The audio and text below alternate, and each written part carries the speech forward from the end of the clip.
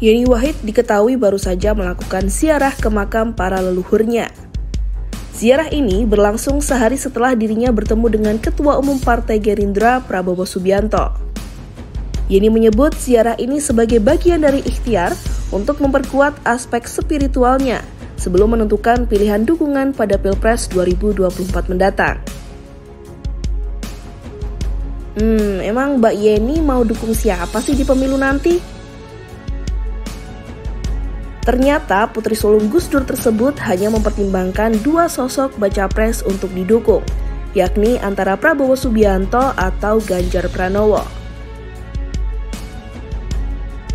Sementara pasangan yang baru saja mendeklarasikan diri sebagai pasangan, yakni Anies Baswedan dan Caimin, tidak masuk dalam pertimbangannya.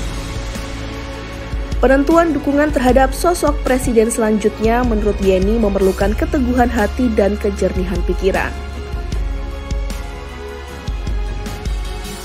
Oleh karena itu, selain melakukan analisis dan pertimbangan secara rasional, dirinya juga melakukan riadoh atau laku spiritual dengan cara bersiarah ke makam para leluhurnya.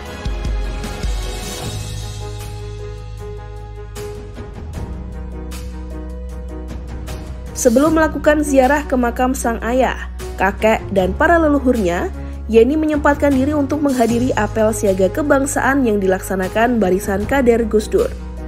Kegiatan ini digelar dalam rangka memperingati hari lahir Gus Dur di lapangan kampus Universitas Hashim Asyari Tebu Ireng, Jombang, Jawa Timur.